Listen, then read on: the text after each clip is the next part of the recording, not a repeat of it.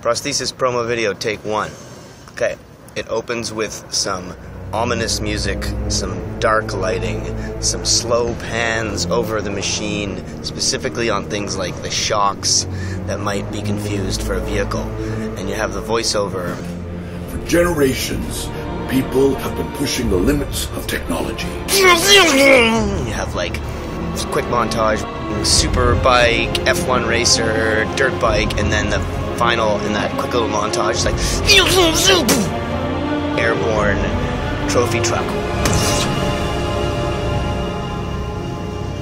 But and then it goes back to voiceover But people have been dreaming of more.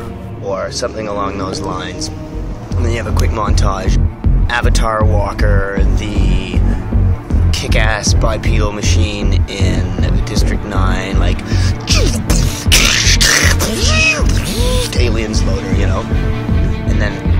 it's like more sort of slow reveal, dark, mysterious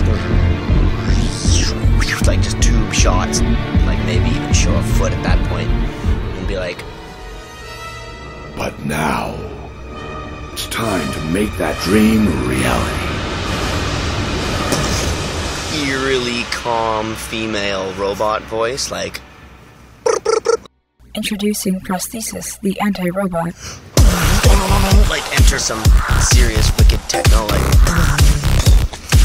like power montage of tech porn shots and you're like that's a fucking machine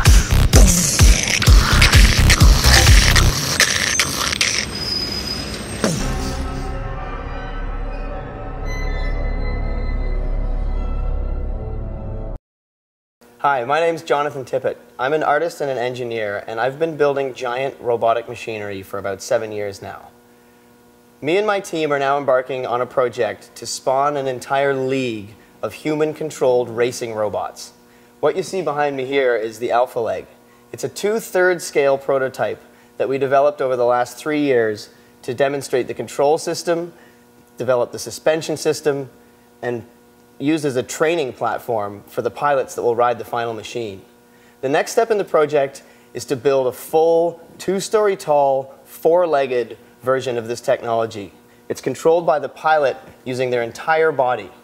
And we need $100,000 to buy the steel, the hydraulic components, the electronics, and a whole pile of lithium ion batteries, because this is a 100% electric machine.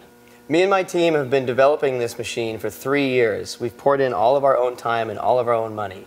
And in order to take it to the next step, to build the final world's first racing robot, we need your help. So if you want to support this mission and turn this dream into reality, check out some of the rewards, join the team, and get behind the project. Something like that? That's good. Yeah.